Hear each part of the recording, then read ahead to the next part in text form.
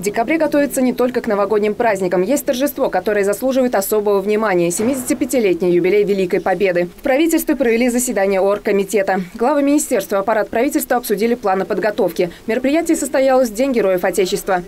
В этот знаменательный день мы проводим, ну, наверное, все же крайнее э, заседание оргкомитета Победы в уходящем году, э, хотя если будет потребность, то обязательно найдем э, время. И сегодня нам совместно необходимо подвести итоги работы уже за уходящий год, а самое главное – обсудить подготовку к предстоящему году памяти и славы. Губернатор наградил выдающихся общественных деятелей. Звание Героев Малой Родины получили ульяновцы, которые активно участвовали в жизни нашего края. Активных граждан занесли в региональную книгу почета и одарили наградными знаками. Затем приступили к главной теме заседания – как Минздрав заботится о наших ветеранах. Инна Чигирева отчиталась о проделанной работе. В регионе функционирует 39 мобильных бригад, куда входят соцработники и медики. А в больницах региона действует 96 специализированных палат. Там же организована система диспансеризации. Медосмотры ветеранов обещают провести до 1 апреля 2020 года. Также у нас находится на контроле лекарственное обеспечение ветеранов.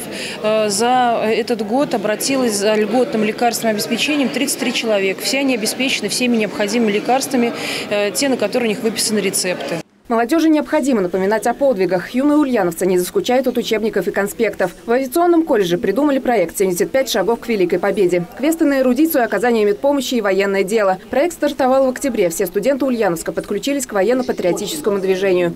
Октябрь, ноябрь у нас уже были подведены итоги. И заканчиваем мы это в мае. То есть это у нас, естественно, будет парад победы, это будет бессмертный полк, заключительные такие этапы. Подведение итогов мы планируем после 15 мая. Проект проводится на конкурсной основе. Самые активные студенты-победители отправятся в путешествие. Главными призами будут поездки в города-герои – Волгоград, Санкт-Петербург и Москву. Виктория Черкова, Юрий Ломатов. Новости Улправды ТВ.